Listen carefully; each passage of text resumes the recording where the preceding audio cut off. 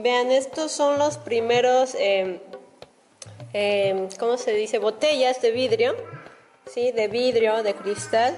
Aquí son los que encontraron en las excavaciones en el periodo grecorromano, que fue eh, incluso antes de Cristo y después de Cristo. Todo lo que encontraron. Y pues bueno, aquí están. Y esto es del mundo entero, o sea, de aquí nació todo esto, todo el vidrio, el cristal. Vean, este parece como ya la, la tacita del té turco, ¿no? Hasta llegar a la taza normal de té turco. Y ahí salió. Aquí hay así, como un círculo. Y ahí está todo así, de cristal. Ahí hay otra sala, ahí hay otra sala. Solo les muestro aquí, hay unas estatuas. Estas estatuas representan a varios dioses griegos. Este es Ares, eh, Venus, está allí Venus. y también del periodo romano. Está Afrodita, Eros, Júpiter. Vean este muchacho guapo. Él se llama Hermes, se los presenta. Él es el, él fue el dios de los viajeros y de los comerciantes, pues ahí para que lo vean. ¿eh? Vean, aquí está eh, que fue una figura mitológica de Egipto, Anatolia y Grecia. Aquí hay otra mujer, pero sin cabeza, no tiene cabeza. Ah, sigue allí Sphinx. Otra mujer. Otra mujer. Ahí está Brincita esperándonos. Lo siento, hija. Gracias por esperarnos. Gracias, Ebrincita, por su paciencia. Aquí hay otro caballero. Otro hombre. Ah, vean, acá está Atena, pero sin cabeza. Le volaron la cabeza. Eh, aquí están las cabezas, yo creo, ¿no? De ellos. Son las cabezas, es Hermes, Apolo. Vean, aquí hay anillos, collares de ellos, otras eh, cabezas de Apolo, hombres, mujeres importantes. Aquí hay eh, cruces ya del imperio bizantino. Ah, este es Nemesis, vean. Bueno, me doy cuenta que no tienen cabeza, la mayoría de ellos. Yo creo que todas sus cabezas son las que acabamos de ver. Para que vean, son muchas, muchas estatuas sin cabeza. Ahí está Heracles.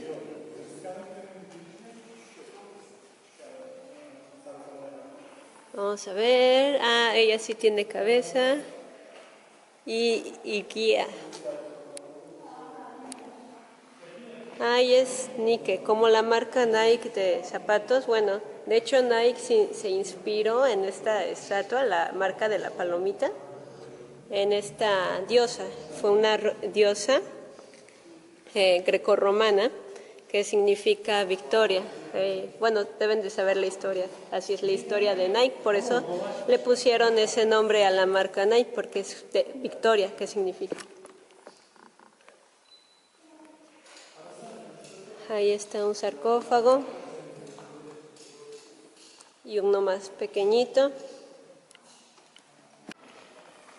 Vean, esta es una báscula, eh, es una báscula que ocuparon igual en, en el periodo romano y aquí medían cuántos kilos pesaba y todo. Muy interesante, ¿eh? ya, ya se las ingeniaban. Vean, allá hay más más que ver, más, más, más. Acá están este, las monedas. Ah, muy, muy lindo, muy lindo. Aquí está Nike, la diosa Nike, la diosa de la victoria. Y aquí está este, vamos a ver quién es, Heracles, sí, él es Heracles, que es Hércules. Hércules, todos lo conocen, muy famoso. Aquí hay eh, jarrones también que eh, comerciaba la gente en ese tiempo.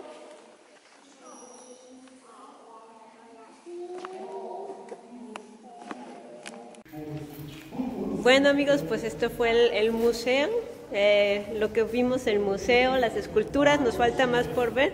Muy interesante ver todas las esculturas, eh, los objetos que hallaron en las excavaciones, las monedas, en los lugares de sepulturas de ellos. Vamos a continuar viendo qué más hay en este museo de Side, que Side está en Antalya, Turquía, amigos. Vean, esta es como una representación de cómo fue la mesa que usó Cristo en su última cena. Bueno, es lo que dice. Y ahí está una cruz y así es como luce de los últimos días de Cristo. Ven, este es un cementerio, así son restos que encontraron huesos de dedos de varios eh, lugares del esqueleto que encontraron y así es como luce eh, como eran las tumbas anteriormente. Es una representación y allí vemos otra eh, caja donde depositaban a los pequeños, a los más pequeñitos, tallado a mano todo eso. Muy impresionante. Vean, aquí encontré, o sea, vean mi estatura y la estatura de esta cueva. Es una cuevita aquí que ha de tener algo. Me voy a agachar. Ay, vean, hay una luz ahí abajo, no lo pueden ver, pero sigue, sigue la cuevita y algo. Es muy interesante, se tenían que agachar como yo me acabo de agachar. Vean, ahí hay huequitos también, huequitos que encontraron. Ah, y probablemente, o sea, se acaban de dar cuenta, ¿no? Vieron la cueva que les mostré, entonces probablemente esa cueva venía para acá, daba acá. Y es lo que yo vi, vi una luz, entonces era de cueva a cueva. Probablemente esta área era cerrada, era un cuarto, y se transportaban de cuarto a cuarto como túneles. Así tenían cosas importantes guardadas o esclavos o gente que trabajaba eh, en un lugar muy importante. Ahí está, esa es la cueva que da aquí, ¿ya vieron? Ahí es la entrada y aquí va a dar a otra habitación, o sea, de afuera para adentro. Muy, muy interesante. Acá hay más como sarcófagos, tumbas, este, más esculturas. Así luce la entrada por fuera. Famosas. Ah, ven, no podía faltar esta medusa. Aquí está medusa, ven. Y es muy sabido que ella cuando miraba a la gente los convertía en roca. Entonces, pues ahí está otro, otro dato extra de Medusa. ¿Qué tal eh, amigos? Ahí está el mar, el Mediterráneo, aquí en la ciudad de Side. Y vean qué atardecer con estas ruinas arqueológicas está genial. La verdad, no se lo pierdan, vengan para acá, vengan así. Mira, es, esto de aquí que ven como círculo y de aquí, bueno, aquí ellos ponían este, las aceitunas para, y las uvas para hacer el aceite de oliva. Era el, el procedimiento que ellos hacían crearon esta herramienta para hacerlo. Y pues bueno, fueron varias, como pueden ver hay varios círculos aquí, varios allí. Y allí tiene esa salidita porque allí salía ya lo que exprimía y era el, de allí el proceso para hacer el aceite de oliva, el vinagre de, uva y, de otras frutas más. Y allí también ponían para hacer el vino. Ya se los había mostrado anteriormente en la ciudad de Éfeso. Varios, hay varios terrones como esos para eh, hacer el proceso de fermentación. Una salidita, pero para ver la puesta así del sol, la vista, todo esto. Esta es la playa de aquí de Manavgat. Allá está el área hotelera, se los acerco más para que lo vean, para que lo chequen. Vean qué bonito el jardín con todas estas esculturas grecorromanas. Muy bonito, ya es el atardecer amigos, 5 de la tarde. Aquí todavía tenemos algo de luz del día y vean aquí súper Me encanta, súper hermoso amanecer, estoy muy contenta de estar en este museo de Cide. me estoy dando cuenta que Side realmente eh, es y fue un lugar muy importante en los tiempos grecorromanos, pero hoy en día en Turquía es un lugar arqueológico importante y un lugar que tienen que ver si vienen aquí a Turquía, visiten Side, que está eh, cerca de Antalya, Turquía. Aquí atrás, como pueden ver, eh, son como clases de pinturas que dan a veces aquí en el museo. Eh, ahorita está vacío, no están las clases, pero allí dan clases de pintura. Y bueno amigos, ¿qué tal les ha parecido este recorrido por el Museo de Cide? Todavía nos falta más que ver, más eh, lugares arqueológicos aquí en Cide, afuera del museo. Les voy a mostrar más, pero quiero contarles más de Cide.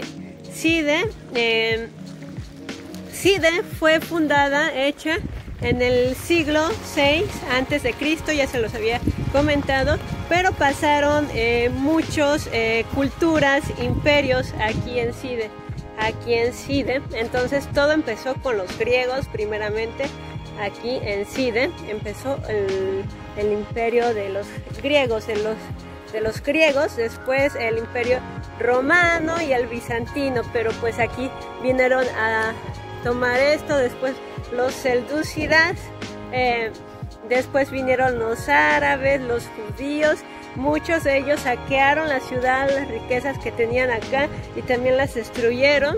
Eh, también terremotos acabaron con estas ruinas, porque muchos se preguntan de ustedes, ¿por qué no están así destruidos? Pues fue a causa de guerras, de terremotos, toda esta área de Turquía, lo que es el Mediterráneo, el Egeo, porque estamos en la parte mediterránea, Toda esta área es una área sísmica, entonces es una área sísmica que casi diario hay pequeños temblores y a veces de mayor magnitud y todo eso poco a poco, poco a poco fue acabando con eh, pues estas, estas zonas arqueológicas, fue acabando con eso lamentablemente y es lo que ahora nos queda de ellos, tal vez más adelante vaya a, pasar que acabe, que más, se vayan cayendo más.